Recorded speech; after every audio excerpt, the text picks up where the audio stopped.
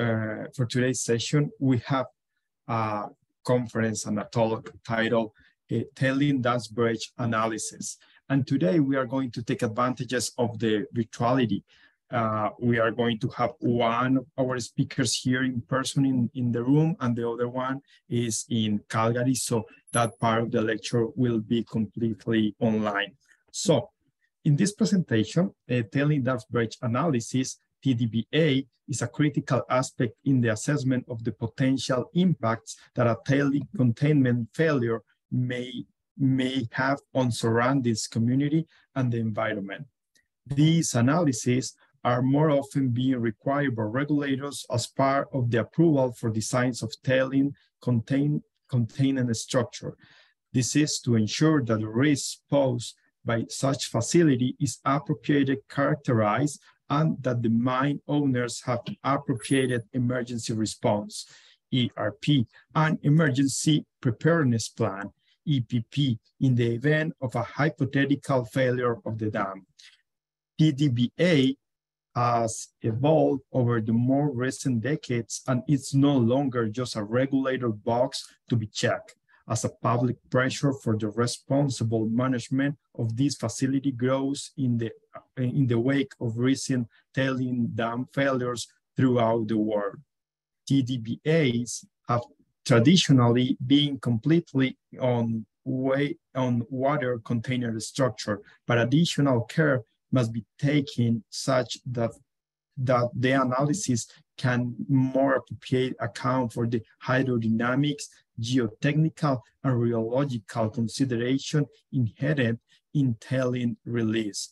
This presentation will provide a high-level review of current practices in TDBA for tailing storage facilities, including tailing mechanism, failure modes, release volume estimation, downstream routing, recommendations and current reach on further improving this analysis.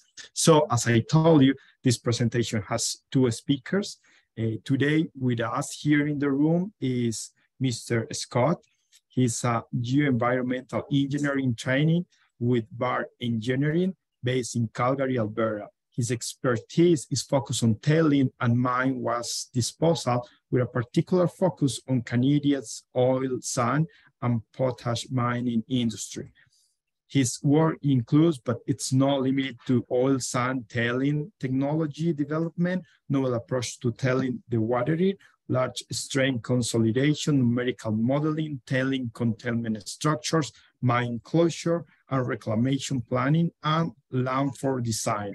Scott has completed a bachelor in mining engineering and a master in geoenvironmental engineering in 1917 and 2022, respectively, both from the University of Alberta. He has co-authored several conference papers on the use of novel techniques on oil sands tailing the water.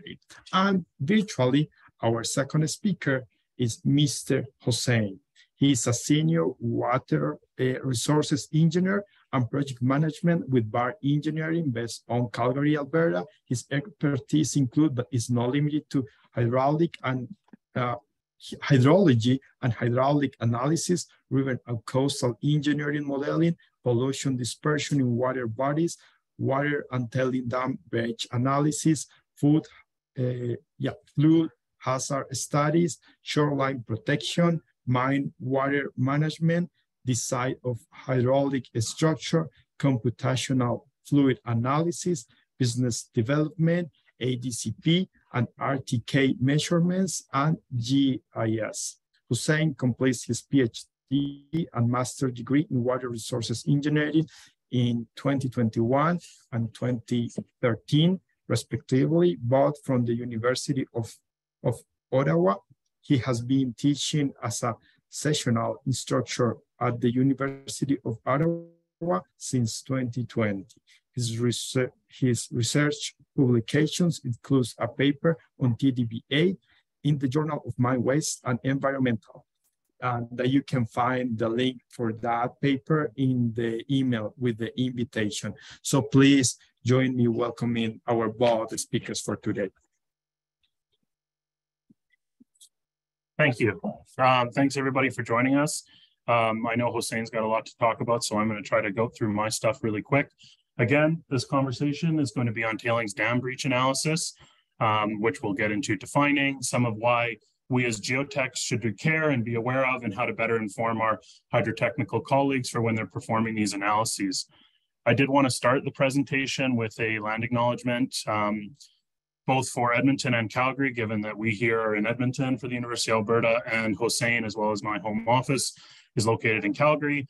In Edmonton, it's located within the Treaty 6 territory and within the Métis Nation of Alberta Region 4, as in Calgary, located within Treaty 7 territory and within the homeland of the Northwest Métis and Métis Nation of Alberta Region 3. We want to acknowledge the land as by their traditional as their traditional territories and the many communities that comprise uh, the First Nations in these areas. Getting into our specific presentation, uh, a general rundown of what we're going to talk about today. The first is the why of TDBA. Why do we do it? Why do we as geotechnical engineers uh, need to care? And how do we better inform our hydrotechnical colleagues in terms of their analyses? I'm going to provide kind of a brief overview of what tailings are for those who are geotechs outside of the tailings world, um, some of the properties and rheology that are relevant to these analyses, as well as this will primarily be based on a summary of section five in the recent 2021 CDA bulletin on tam, tailings dam breach analysis, which again, Hossein will get into in greater detail. Um, and then he'll go through and discuss um, a little more background, failure modes, um, the actual process of analysis, computing release volume, breach modeling, downstream routing. And he'll also make some comments on future research and continuing work that needs to do to further inform these analyses. So the why of TBDA, what is a tailings dam breach analysis or a tailings dam failure? Tailings dam failure is what you might expect. It's defined as a physical breach of the dam, um, generally unplanned, followed by uncontrolled and typically sudden release of any or all of the stored materials. Um, this is critical to informing dam consequence classifications, those who are familiar with the world uh, of tailings and dam storage. Uh, most of these consequence classifications are not only based upon the size or quantity of tailings that are being stored, but also what is the consequence should such a failure occur? What are the communities affected? What is the magnitude of the people in those communities? What is the environmental impacts? And the only way to really do that is to have an understanding of should a failure occur, what would the impact area be and what does that relate back? Um, in Alberta specifically, and most jurisdictions in the sort of Western world and mining communities, there's regulations that require emergency response plans and emergency preparedness plans. Again, those who aren't as familiar with those can check out the Alberta Dam and Canal Safety Directive, where there's additional guidance. Um, but those focus more on should a failure happen, how do we react, who do we notify, how do we minimize impact to the environment and people getting into what are tailings for those who don't work in this world. Um, in the most basic sense, tailings are a waste product and they are the result of processing mined ores to get something valuable out of them. Um, the properties of these tailings, they vary dramatically for a number of reasons. This can be the properties of the source ore, which could impact gradation, mineralogy, um, the process used to extract the components. So a metals mine or a heap leach is going to have very different tailings to an oil sands mine. Um, and then any treatment that is done on those tailings before placement, where they mechanically dewatered through centrifugation or um, filter press, or where they just placed, where they dose with chemical flocculants, all of those impact your properties of tailings as they're deposited. And then the last piece is just that properties of tailings not only are as they are as they come out of the plant, but they also evolve based on how they're deposited. So is that a subaqueous or subaerial, meaning basically above or below water? Um, it, what is the consolidation behavior of these materials? What is the drainage conditions? And also how old is the deposit? We have tailings facilities that have had tailings in them for decades, almost parts, parts of a century. How does that, that behavior can be very different than tailings in a fresh facility. Um, this again is meant to be very high level because you can do many presentations just on liquefaction, um, and I'm not going to get too far into that. But what I want to impress upon this group, particularly as geotechs, is what is critical to our investigations in regards to how we inform our hydrotechnical colleagues for their analyses. So um, as you've heard a million times, a robust geotechnical investigation um, is generally mandatory. It's already something that's done, but it's important when you're looking at it to inform a tailings dam breach analysis. What are the additional potential information you need to know? What does that mean? How do you interpret the data? Um, so this usually includes, you know, standard laboratory testing, CPT testing, um, but how you interpret that can be slightly varied based on what you need that data for. And the main thing that we're focusing on here is the potential for these tailings to undergo a flow liquefaction, which is critical to these tailings dam breach analyses. This is critical in order to estimate how much volume of materials is actually going to be released and what are the characteristics of that flow. Uh, a general rule, and this is taken from the CDA guidance, and again, any geotech who's an expert in this will say, well, it's not that cut and dry, but the general guidance is that you should assume that a saturated tailings that exhibits contractive behavior under a shear um, should be assumed to experience this full liquefaction, all other things being equal. However, again, it is not a replacement for professional judgment or adequate geotechnical investigation. So it also doesn't take into account any changes in densities as a result of evaporative losses, mechanical compaction. As you've heard a million times, there's always a million things going on. And we as geotechs have to be aware of how those different things inform and impact the results that we're presenting. so let's assume it flows. Material is liquefied. What is that flow behavior? Well, this is falling in now into the rheological realm where the definition of soil mechanics and fluid mechanics becomes very, very blurry. Um, that's one of the biggest challenges with tailings is that they tend to exist in this world between us as geotechs with our soil mechanics and more of our water-based colleagues who are much more on the traditional fluid mechanics side or conventional fluid mechanics engineering. So, you know, the idea behind getting appropriate rheology and rheological assessments is if this liquefaction occurs, what is the behavior of those liquefied or released tailings? Because it's not as simple as just a water containing dam, which is what previous dam breach analyses have been performed on. So these materials, they exhibit very different behavior, non-Newtonian flow behaviors, meaning that, you know, shear is very, or rather the, uh, their properties are varied based on their shear. Um, behavior is not consistent the whole time. So you might start with one rheological property and it might be very different by the time you've hit the run out. Um, so this rheological characterization is really the most critical part because as Hossein is going to get into, um, these are the values that are put into his models in order to assess what the actual flow characteristics and impacts of such a dam breach are going to be. This slide was meant to just highlight a few additional sort of further considerations um, with regards to this. Number one being that liquefaction potential can change dramatically. So something that you've oft, you've probably heard if you've been working with anything with liquefaction is what is the trigger mechanism?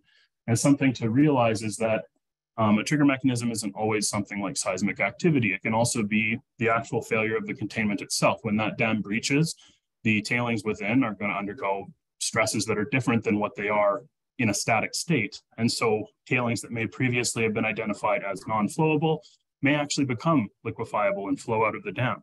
And this is a critical part to sort of defining it. So we as geotechs are familiar with undrained shear strength, and this usually governs that initial failure, but the behavior changes as the tailings flow out of the facility. So these controlling forces are still largely dependent on sort of solids content and void ratio, but what's interesting is that these change over time as the um, tailings flow out from the facility in the case of a dam breach, um, those concentrations actually change. And what I wanted to highlight on this slide is these are two plots, um, one showing viscosity versus what's called concentration by volume. And the right is the um, is, well, looks like they both got copied in the same way, but um, the idea being that on the bottom, in geotechnical terms, we generally focus on mass. So we talk about solids content, as it applies to the mass fraction of solids within a given material. However, in the in terms of dam breach analysis, as Hossein will talk about in greater detail, hydrotechnical people look at it as a volume concentration of solids. So what I wanted to highlight here was just it's important to recognize that who you're talking to, what the values are going to be used for to make sure that the model you're creating is representative because a model is only as good as what's been put into it. If you put in bad data, you get bad data out. So again, one final note is, you know, that these slurries, they may be governed by sort of these viscous forces, but the issue with tailings is that at higher solids concentrations, fluid, conventional fluid mechanics isn't as good at defining the behavior simply because um, as your concentration of solids goes up, these solid components interact with each other more. So you start to needing to go into the more complex areas of uh, continuum mechanics to define how those interactions are now governing the flow characteristics versus when it's a more fluid-like. And Hossein's got a couple great slides showing actual visual representations of what this sort of transition can look like. And so we'll get to there. So the final thing for me before I pass it off to Hossein is that ensure that we're doing proper geotechnical characterization and keeping in mind the rheological considerations as well. So not just looking at, okay, well, we don't want it to fail as geotechs. Of course, that's not what we want, but should it happen, what does that mean? Um, so ensuring that we have appropriate rheologic variables for the flowable tailings is critical to producing a representative model that can adequately that can adequately assess the impacts of a tailings dam breach. So with that, I'm going to pass it to Hossein. I just need to change the screen here really quick. Hossein, can you share your screen, please? I am going to share my screen, yes. Can you see that? Good. We're good on this side, Hossein. Okay, very good. And you guys can hear me good? Good. Yes? Yes, we're good on this Perfect. Side. Perfect. Awesome. Thank you very much, Scott. Thanks a lot. And uh, thank you, Cole, for inviting us to talk about this. And uh, I transition a little bit here and uh, thanks to Scott for the great uh, introduction to the, uh, to the topic here. On my screen, what you're seeing here is uh, a few of the past uh, dam breaches, historical dam breaches, and we'll talk a little bit about the background on tailings dam breach assessment, TDBA. So unfortunately, we have numerous cases historically of tailings dams failures. And uh, for example, in China, 1962, Huogudu Dam uh, failure resulted the release of 3.3 uh, million cubic meter of tailings and uh, resulted in fatalities of 171. Later on, for example, in Italy, 1985, the volume was much smaller, the released volume, but the still fatality was quite high, 268. And more recent, uh, in Brazil, Brumadinho dam failure, release of 12 million cubic meter of tailings and fatality of 267.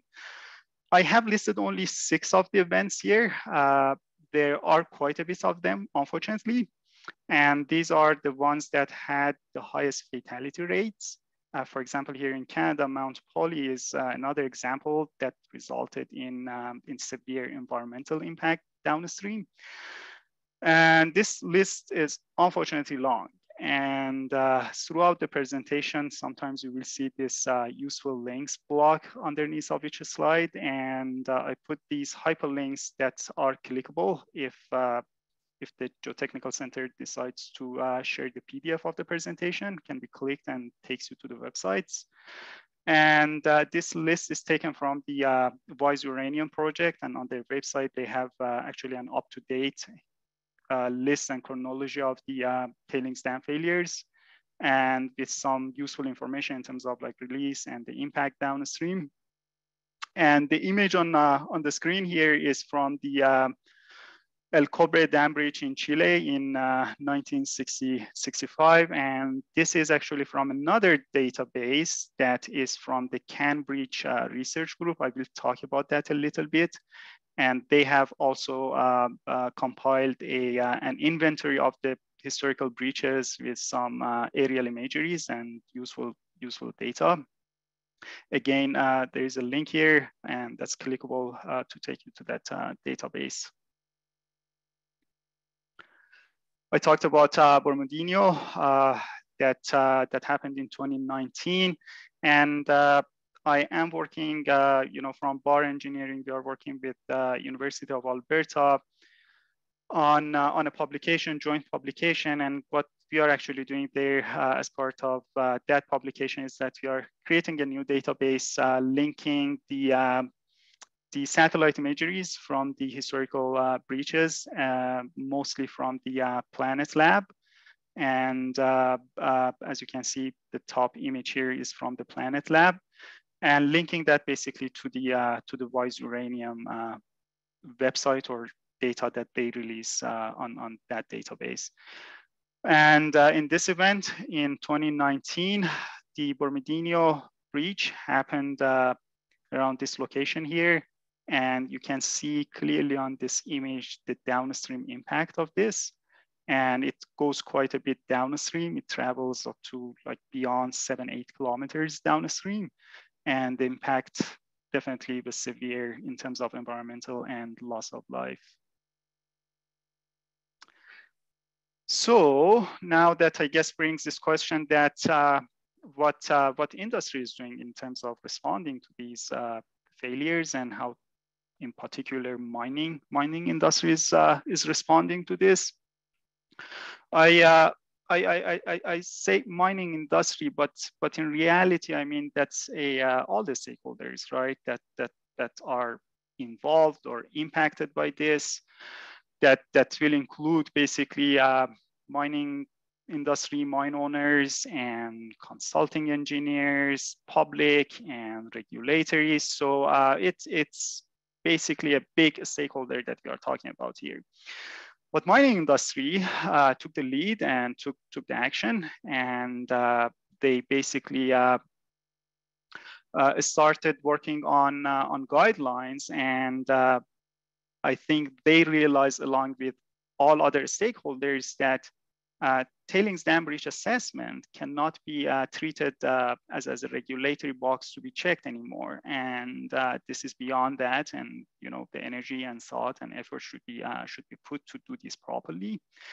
And uh, in 2021, Canadian Dam Association released the first technical bulletin on tailings dam breach assessment, and it was welcomed and well received by the industry worldwide.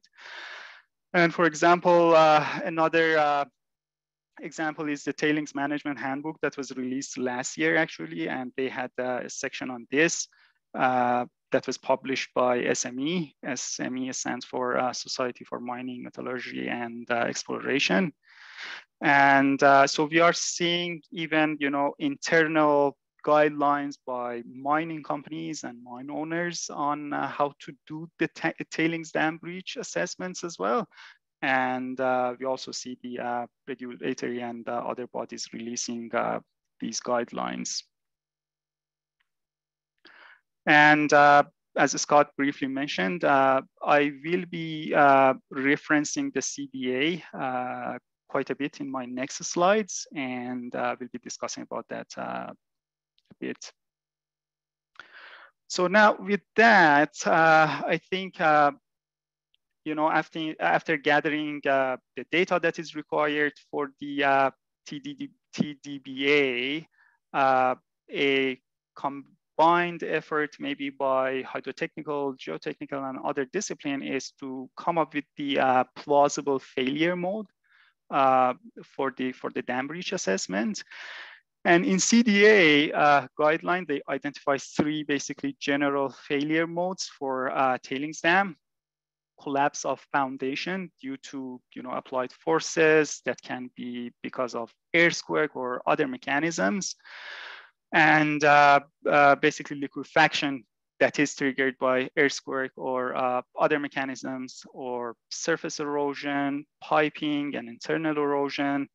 And the second one is uh, overtopping, of, uh, of water basically over the crest. And this can be due to uh, insufficient freeboard or you know, settlement of the crest or you know, insufficient uh, spillway capacity or spillway man malfunction, or even uh, it can be like misoperation as outlined in the, in the CDA.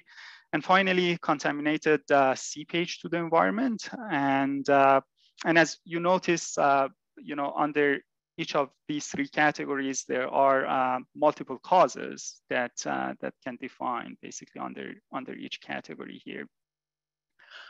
And uh, in, um, in a paper that I co-authored in 2020, we looked into historical dam failures and we looked into uh, 85 cases.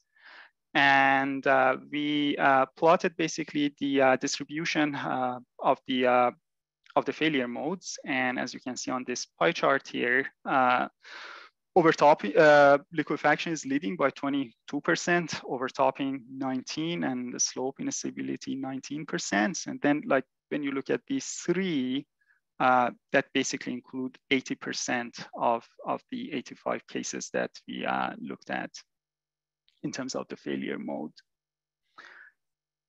And uh, in terms of uh, coming up with the uh, with the failure scenarios, uh, uh, there are two common hydrologic conditions that uh, that are considered for for the failure scenario, and they are fair weather, also known as sunny day, and flood induced, also known as rainy day or wet day scenarios. I personally don't like sunny day term because it can be a fair weather uh, or it can be basically a cloudy day, right? Uh, which is considered a fair weather, uh, not necessarily a sunny day. Uh, but they use that uh, quite a bit in the industry. Uh, but I prefer fair weather and, and flood induced terms better than the other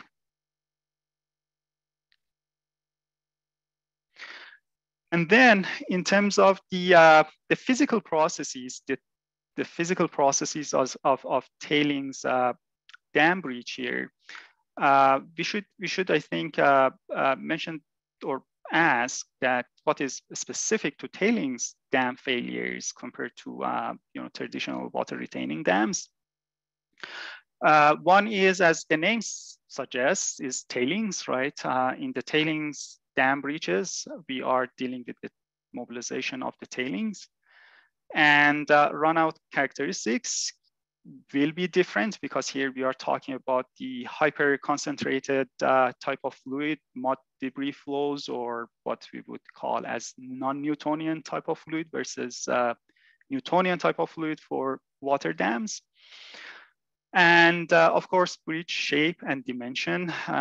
Could be could be quite different in uh, tailings dam breaches versus uh, versus water retaining dams. And tailings dam breach processes are very complex and not really fully understood uh, up to date. Uh, and uh, you know we come up with some simplifications and assumptions to, to tackle this complex, basically, uh, processes. So we often can do or look into this as uh, two, two processes. Process one can be discharge of the supernatant pond that carries, you know, a road and carries tailings and dam fill materials. And then uh, process, process two can be the discharge of flowable tailings due to tailings liquefaction or progressive basically slumping of unsupported tailings. In the CDA guideline, they have this, uh, this, this graphic here, this figure, and they categorize basically the, uh, the, the, the, the failure cases into, into four cases, four different cases. On the, on the vertical axis here, that's uh, the presence of, uh, of supernatant pond. If we have supernatant pond, which is this blue water here shown on this uh, figure on the top row, or if we don't.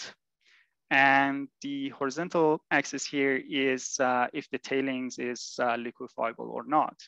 So for example, uh, in uh, case 2B, we are talking about a case that uh, there is no supernatant pond and uh, the, the tailings is non-liquefiable.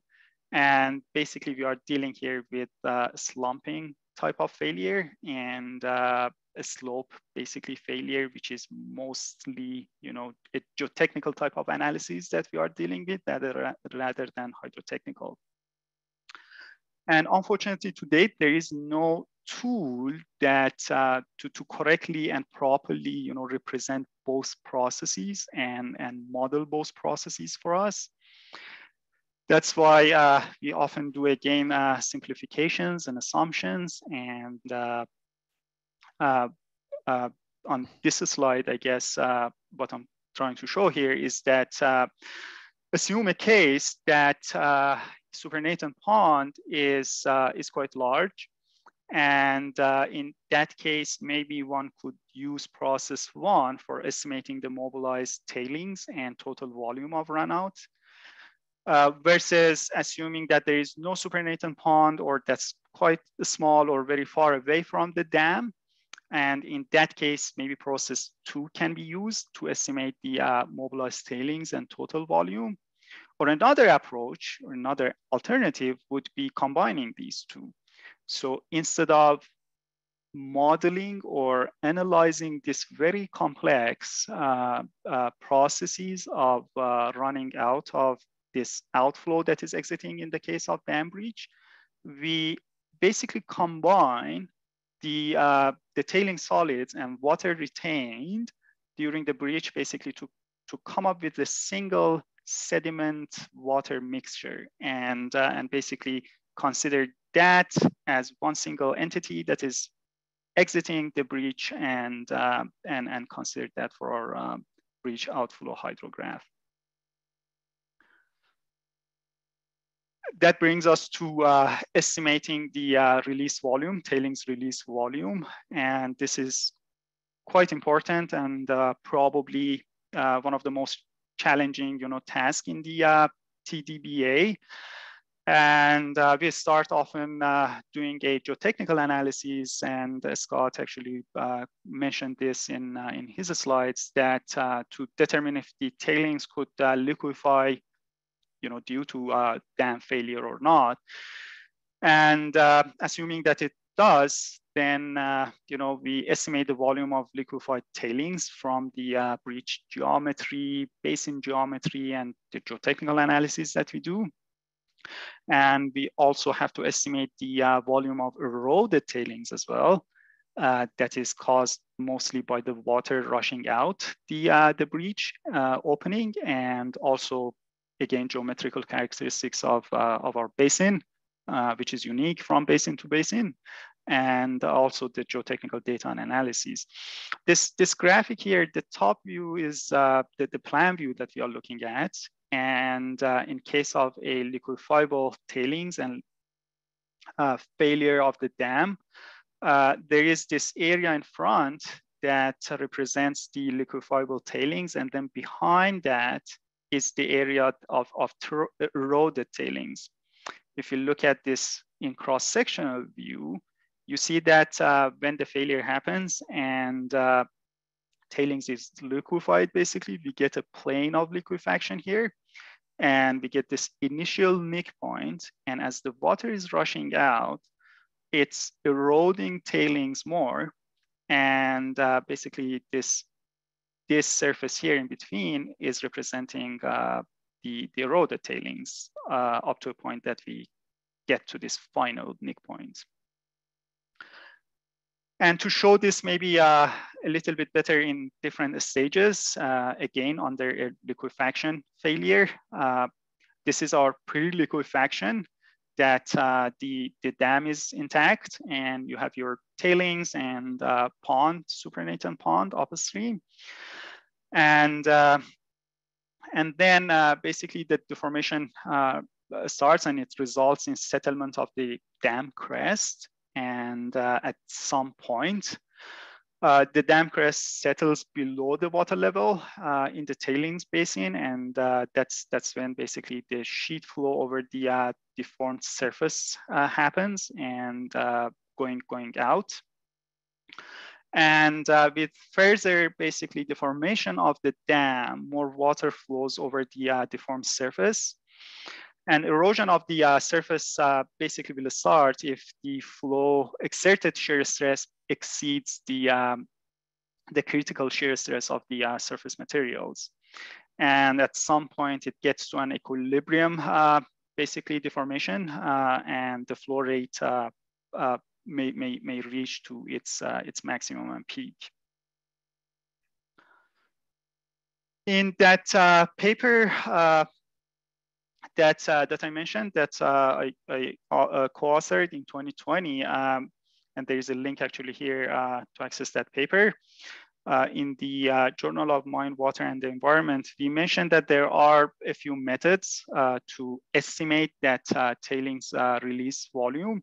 There are simplified methods which are statistical like regression uh, methods based on the historical tailings dam failures. It started uh, with Rico and colleagues in 2008. And then later on, other researchers and uh, authors basically added to the database, or sometimes they have uh, divided the type of uh, the, the, the, failures, uh, historical failures based on the type of uh, tailings material and other characteristics and came up with different sets of equations. There are quite a bit of them. And uh, there is another, for example, method, flowability approximation or method by Fontaine and Martin in 2015.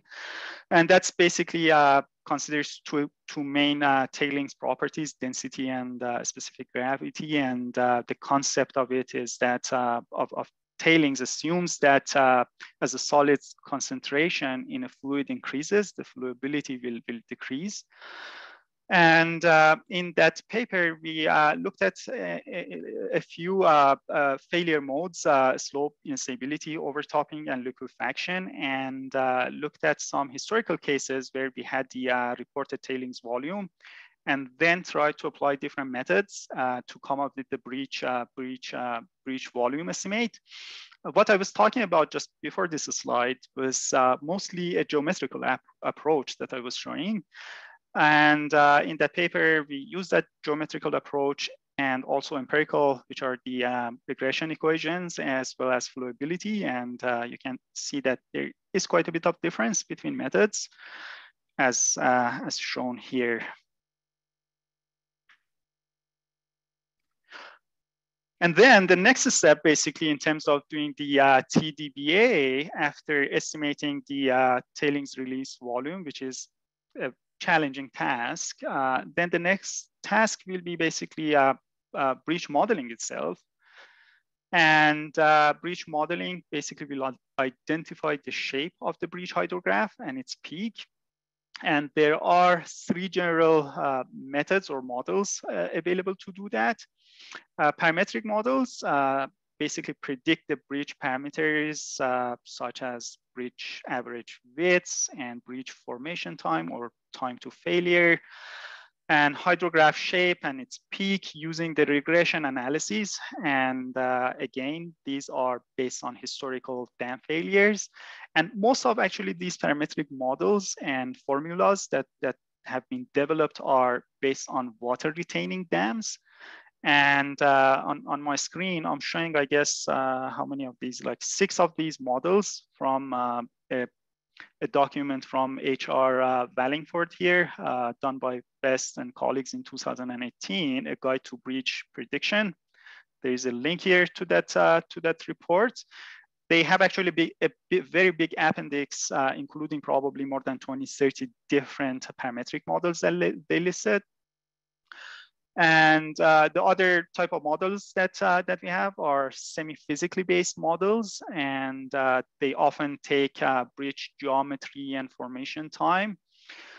Uh, to generate the breach hydrograph, uh, these models will ignore the physical processes, but uh, rather use some simplified fluid dynamic equations such as Weir flow equations to uh, estimate the breach hydrograph. And finally, we have the uh, physically uh, based models, and these models will actually model the entire processes, the physical processes of erosion of the embankment and, uh, and, and the, um, the material basically uh, upstream. So, and in in that paper uh, in 2020, we did a comparison between uh, two semi-physically based models, uh, HEC-RAS 2, 2D and FloodWave uh, versus a one parametric model, which was HEC-HMS, to see how different they are. And as you can see on, on this plot, uh, the two semi-physically based models uh, are predicting basically our peak and the shape of hydrograph quite, quite, quite similar and different than uh, the parametric model. And uh, we, uh, I think the implication of this difference will be in the downstream routing, right? When we route this hydrograph downstream in terms of velocities and depths, inundation, uh, they will result in different, uh, basically downstream impact. More recently, actually this year, uh, uh, we looked into the one of the semi-physical uh, uh, based models, uh, HEC-RAS 2D, as they uh, recently released this non-Newtonian module. And uh, we said that, okay, let's compare the uh, Newtonian versus non-Newtonian hydrographs. And again, the, the, the, models here are exactly the same. We are using the same volume or stage storage curve in the HEC-RAS model and one is uh, running under Newtonian fluid condition with the Newtonian module. And uh, we looked at two non-Newtonian cases, one with low viscosity and one with high viscosity. And we didn't see uh, a meaningful difference here. Um, and this may suggest that uh, you know semi-physically based models are not really capable of uh, you know uh, modeling that complex processes of tailings dam breach formation and release as, as mentioned before. And uh, again, that the model is very, very unique in terms of like geometry and volume. And uh, the difference was uh, non-Newtonian versus, uh, versus Newtonian. All right, uh, we get our breach hydrograph and then the next step for us in terms of TDBA will be the downstream routing. And uh, Scott briefly talked about the uh, concentration by volume and viscosity and yield stress. And uh, this graph again is from uh, CDA guideline. And what uh, what's showing is the uh, sediment concentration by volume on the horizontal axis against the sediment concentration by weight. There's actually a formula here to relate them uh, based on the specific gravity of the sediment or tailings. And so what, uh, how we categorize or uh, come up with these uh, outflow classification or outflow regimes is that under 20% of CV is considered as, as water flood or Newtonian type of fluid. And then beyond that, it's a hyperconcentrated uh, outflow or non-Newtonian type of fluid.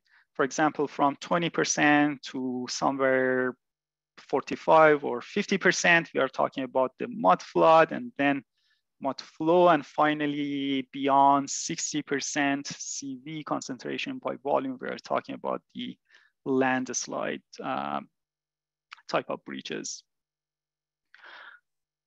And uh, there are quite a bit of tools available now. Uh, uh, in terms of doing the downstream routing and modeling the uh, tailings flow and uh, and non-Newtonian basically type of fluid and uh, you know from HEC RAS to Flow 2D, Flow 3D, Flood Wave, and other models, River Flow 2D. There is actually one, uh, one research that was published last year from the uh, CANBREACH research team on uh, you know, a benchmarking study of, uh, of four numerical models. I believe they used uh, Flow 2D, Flow 3D, DAN, and another model. And there's a link again here uh, to data study.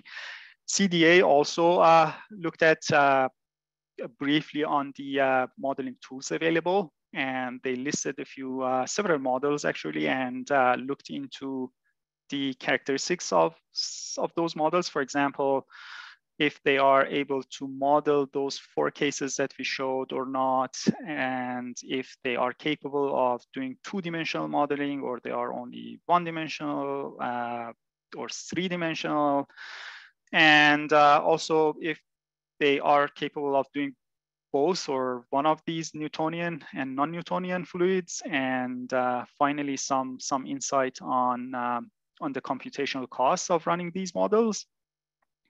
In that uh, 2020, 2020 paper, uh, we looked at actually two models, uh, Flow 2D and Flow 3D, and we ran basically a hypothetical case uh, of a TSF uh, failure, dam failure, and uh, in uh, in those two two models, we kept basically everything the same in terms of you know the release volume and uh, numerical details like uh, grid size for downstream modeling, also and uh, like roughnesses for the downstream. Um, area, as well as uh, rheology uh, parameters like uh, viscosity and yield stress, which are the, the two most important parameters in terms of running basically the hydrograph downstream. And uh, as, as you can see, the, uh, the inundation extents are quite different in this case. And uh, that's something, something to, to keep in mind and note when we are evaluating the models and uh, interpreting the results later on. And uh, with that, I come to uh, some, some recommendations and we look at a couple of ongoing research here as well. Uh, in terms of recommendations, I guess Scott emphasized on this. I do as well. Uh, data, data, and data. Uh, we need to uh, pause at the beginning of these studies and uh, evaluate what, what the objective is of that study, and then make sure that we, we collect enough data to achieve that, uh, that, that objective or objectives of the, of the study. And uh, that's, that's quite important. Again, uh, we don't uh, want to exhaust necessarily all the resources to come up with the data. Sometimes we really don't need a centimeter, you know, topographic information and uh, maybe a two meter uh, resolution uh, will, will suffice but sometimes you need site specific, maybe rheology uh, available and send people to collect that data. And these studies are multidisciplinary and uh, I cannot emphasize enough on, on, on, this because in reality, I mean, sometimes, you know, a hydrotechnical or geotechnical person can say that, oh, I can do all of this, but in reality, that, that starts way back, right? Uh, from field technicians, let's say on site, collecting data, you know, we have our geotechnical, hydrotechnical engineers working along with maybe tailings specialists. We have not talked about uh, downstream inundation mapping where GIS staff and colleagues will work on uh, producing those maps. And uh, also dam consequences uh, classification is often needed. And uh, to do that, we may need uh, colleagues from you know environmental and you know ecology specialists and uh, and so on. And the third bullet point, as Scott said, uh, I like this uh, this uh, this bullet point here. All models are wrong, but some are useful. And it's really important, as I was showing in the previous slide, that uh, difference in, uh, in inundation extent, and that, that suggests that when we are dealing with such uncertain and complex processes, always uh, keep in mind doing on, uh, sensitivity analyses. It can start from, it basically starts from uh, from the beginning, right? When we are developing the breach parameters, uh, let's say breach widths or time to failure or rheology of the, uh, of, of the tailings, uh, mainly viscosity and yield stress. And then while when we are routing that downstream for roughness of the of the downstream area or the mesh sensitivity tests. So that's that's quite important. And uh, finally, staying up to date. Uh, you know, reviewing the, uh, the the the recent research publications, papers, and keeping basically ourselves uh, up to date. Uh, there are quite a bit of research actually going on, and I'm personally very happy to, to see that. And as I follow recent publications, there are quite a bit of uh, research going on. I mentioned CANBREACH uh, a few times, and uh, I, I, believe I never asked, but CANBREACH, I think CAN stands for Canada and breach is breach. Uh, that's, uh, that, that, that project is led by three universities, University of British Columbia, University of Waterloo and Queen's University. And that's partially funded by NSERC and, uh, and, and, industry partners, Imperial Oil, uh, Suncor, and three uh, consulting firms, BGC, Golder, and KCB. UBC is doing the numerical modeling aspect, and uh, Queen's is doing the physical modeling, where you see a picture here from that team of doing the physical modeling of tailings dam breaches. And uh, and Waterloo, I guess they are doing some uh, statistical and uh, field level uh, analyses. For example, here at Barr, we are working with uh, University of Ottawa at the moment uh, on, on the topic, and I'm pretty sure that other universities and entities are working on, uh, on this as well. And regardless, I guess, of, of the role, if we are working as consultants or you know, uh, mine owners or any other stakeholder on this. Uh, people are keeping, you know, their mind open and uh, sharing what they are finding, and that's great uh, with the uh, with the entire society. And I put also a link here to the CANBREACH website where you can see the, uh, the publication and what's going on there. I will stop here and uh, hopefully I didn't uh, talk much uh, much here. And uh, with that, I guess I uh, open the floor for some questions.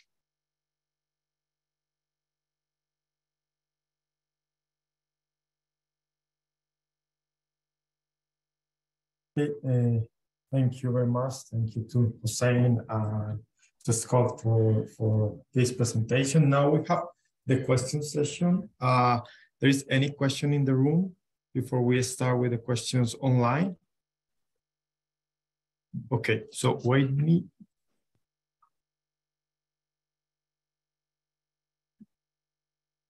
Your name and the question. Thank, thank you very much. Can you move forward? feedback. Got a little bit of feedback here. Thank you, uh, Nick Byer from U of A. Um, how do the models handle heterogeneous tailings deposits? Do you able to assign variable properties to that whole mass that's flowing out, or do you have to assign sort of one single rheology uh, for the whole mass? Okay, so uh, Scott, uh, do you want me to go ahead? Yeah, yeah, because it's related okay. to your model. Okay, uh, so if I understand question, um, question was that if uh, we can assign a variable, you know, uh, properties to the mass, uh, or that's a single property. Uh, to to to to best of my knowledge and our model capabilities, how we do that is we assign a single uh, basically value and uh, but what happens is that when the routing starts, let's say that we have this breach outflow volume and hydrograph that we developed, and we assign, uh, let's say, concentration by volume CV, rheology uh, parameters like viscosity and yield stress.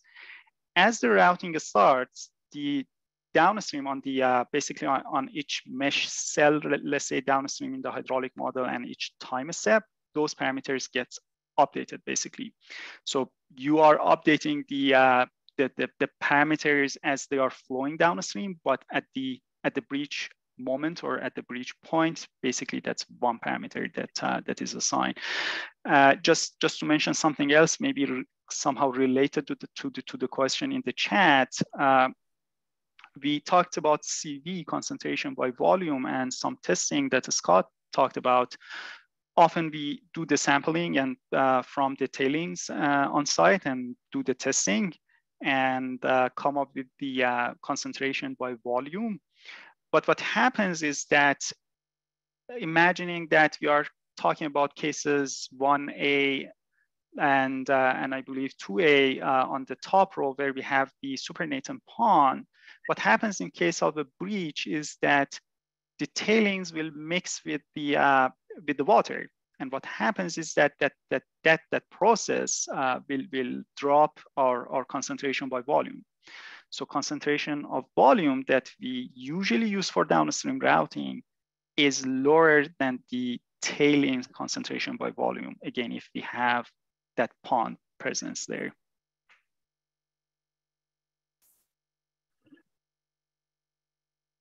that answer the question in the chat a bit as well. Um, the short answer is I, I think that's too much of a stretch to make that assumption, um, but based on what Hossein said as well, um, it, it's more complicated than that simply because the, the tailings actually change from that in, initial behavior as they liquefy is going to be variable as they then flow out, and even more so um, if you have a supernatant pond where all of a sudden you're actually mixing as the breach occurs and the outflows happen.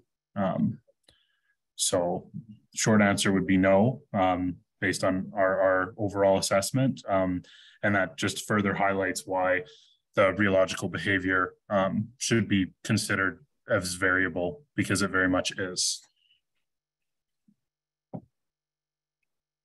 Okay, I'm going to read the question just to be recorded so the people that watch the record after can know what was the question. Thank you. The question in the chat was, there is a challenge in drawing a parallel between the rheological behavior of the tailings in the, uh, in the currents of the liquefaction.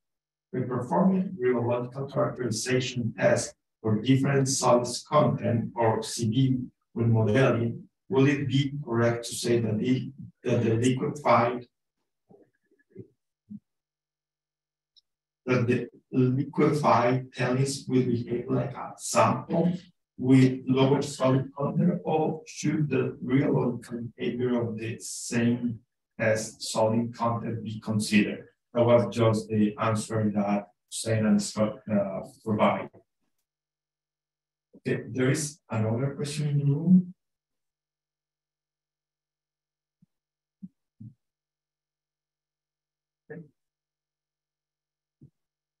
We have a consideration on, on question, like a follow-up question, that is, for a liquefied soil, would you consider appropriate to calculate a rest angle?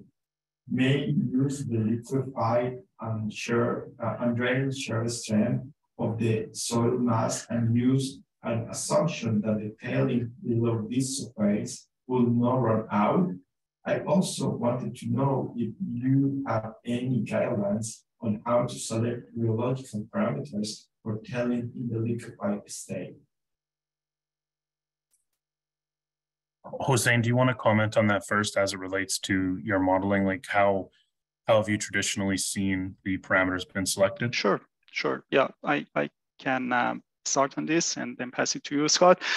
Uh, the first part is that, uh, yes, as I was showing on that, uh, that slide, the plan view and the section um, where uh, we have, um, and again, I, I mentioned that uh, these processes are quite, quite complex and we come up with simplifications and methods to, uh, to best estimate these. And uh, we come up with that plane of liquefaction, and that's where we assume that our uh, liquefied tailings would, would stop. And then beyond that, that's mostly erosion processes uh, governing the uh, release there of tailings. And uh, that's a geotechnical tailings analyses in terms of uh, estimating that plane and the degree of liquefaction there. and and then in terms of the uh, most important parameters, uh, rheology parameters, uh, in the liquefied uh, state, uh, I can talk about the uh, routing to downstream that, as I mentioned, the, the testing that we do in the lab and use that for routing of that breach downstream, the most important ones are, are viscosity and yield stress. And I also mentioned about like 20% uh, kind of being the uh, uh, threshold there between Newtonian versus non-Newtonian, but we also know that uh, maybe from 20% to 25 or 30%, the viscosity impact, you know, is more important than yield stress. And as you go beyond that, uh, yield stress would, would govern. But uh, yeah, Scott? Yeah, I think Hossein you covered most of it. I'm just rereading to make sure, but I, I would say that it's not generally appropriate for the same reason that related back to Dr. Byers' question with regards to it. You know, the rest angle of which material for a number of reasons is that one, it most of these deposits are more heterogeneous. So are you computing the rest angle for the weakest material, the strongest material? Um, the second part of that being too is as soon as you introduce the fact that maybe you have a supernatant pond or similar, you're also introducing other mechanisms such as erosion that can further impact that to where a rest angle could maybe under or overestimate. Also, your loading conditions have changed. If you have a large mass that has now been providing, you know, back pressure or back um, stress on the on the tailings, can then obviously that's where it comes down to. These breaches can cause non-liquefiable tailings to become liquefiable. Um, is more what I'm getting at. So, but it's probably something worth looking at a little deeper as well. But I think it just comes back to the big challenge is how do we pick and relate rheological parameters?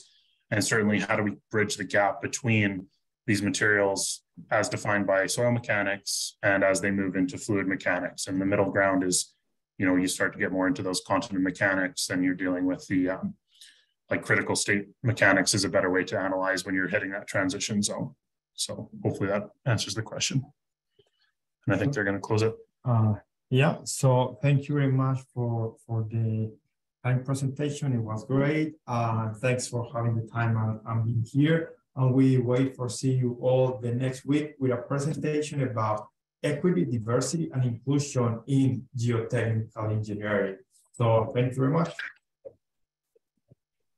Thank you.